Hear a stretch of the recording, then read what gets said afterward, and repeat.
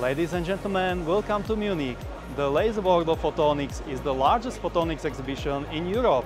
In this showcase, we show three examples of a customized products. First laser module is our smallest laser module. It has a shape of a cylinder and it's fiber coupled into a single mode fiber.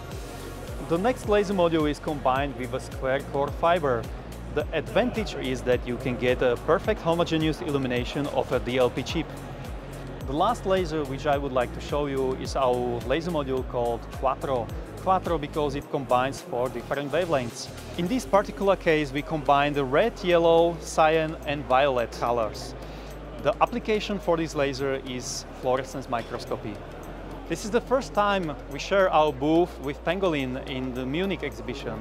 So I would like now to ask Joshua to tell us something about their new products. Thank you, Victor. At ScannerMax, we're happy to deliver stronger, cooler, and faster scanners for a wide variety of applications, from LiDAR to laser projection to microscopy.